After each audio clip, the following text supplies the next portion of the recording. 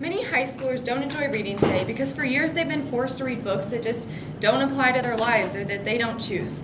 So maybe if these high schoolers got to choose books that they actually wanted to read, then maybe schools would be filled with kids that love to read.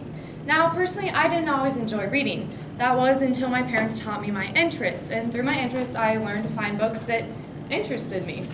So now that I love reading, I found a lot of books ranging from small to big to nonfiction to fiction and through reading all of those books, I've learned how to choose a good book. Now, choosing a good book can be easy if you know what you're doing. Knowing how to choose a good book is important to you because reading is a life skill, but you can also enjoy reading a lot if done correctly. In the next few minutes, I will show you three ways on how to choose a good book, ranging from the appearance of the book, interest of the reader, and Goodreads.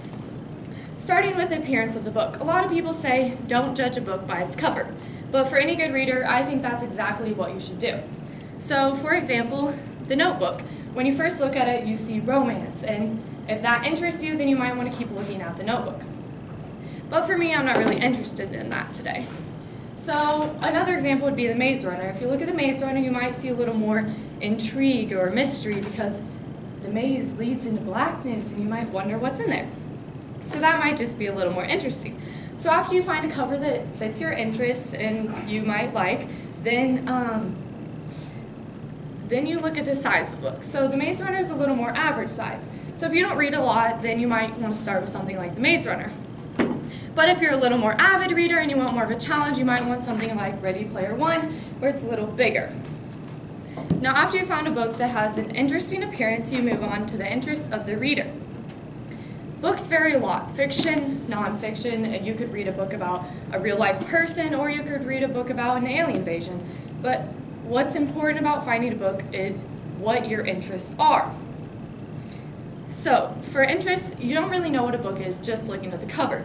So, you want to find the synopsis of the book. So, if it's a paperback book, you look at the back cover, or if it's a hardcover book, you want to look at the inside flap.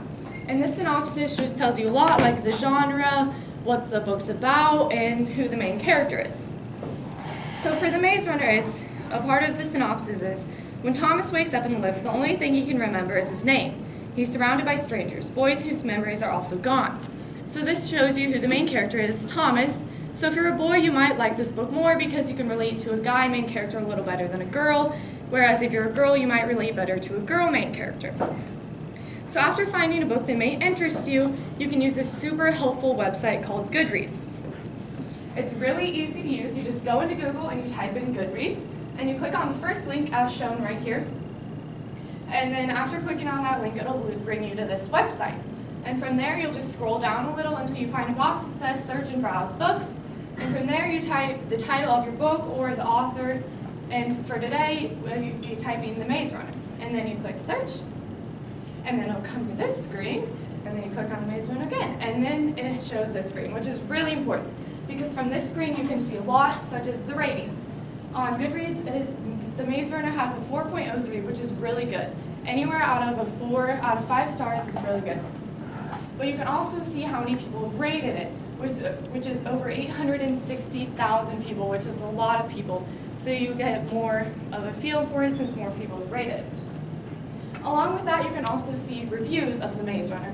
So you could read one star review or a five star review and really get a feel for what the book is about based on what people say. And to do that, you just go to the little review link and click on it, and then there's all reviews. So say you end up reading The Maze Runner and you really like it and you want to read more books like The Maze Runner. That is good for Goodreads too. So for Goodreads, it says, readers also enjoy and then you just go and click on that, and it'll give you a list of books that are similar to the Maze Runner that you might also like. So using these three easy steps to help you choose a good book, I hope that you've learned how to choose a good book and that by knowing this information, you give books more of a chance. And if you already love to read, hopefully one of these steps will help you find your next favorite book. Thank you.